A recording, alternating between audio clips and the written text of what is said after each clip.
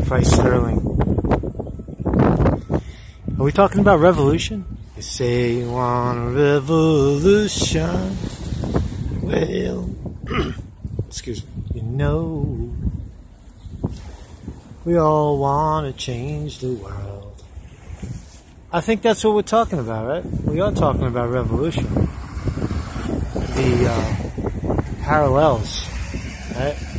Parallels between the American Revolution and Civil War and the uh, situations we're seeing now in politics is have startling, startling comparisons. Very, very, very, uh, very, very similar, right?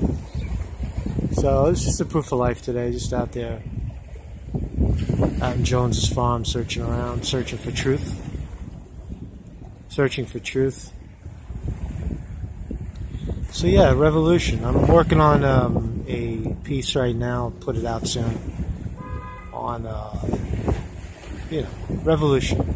That's all I'll say about it. Is it a campaign campaign kind of thing? Yes and no, because I believe that we have to we have to fight it from the inside. You know, guys like Bill Gates, that last piece I put up about Bill Gates is is very quintessential how humanitarian efforts are masked as you know, righteousness for the people. But really it's just a it's just another rich guy's ploy at making more and more money and using military force to do it. I mean, when was the last time when you had a business idea did you go ask the military to back your idea? And all its millions, right?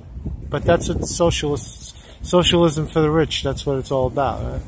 So it's not north and south. It's not black and white. It's not. It's not. You know, it, it's no social issue. What it is, even geographics at this point in the U.S. It's it's us versus them, and we are the 99%. Right? We are the 99%. We are the resistance. Peace out.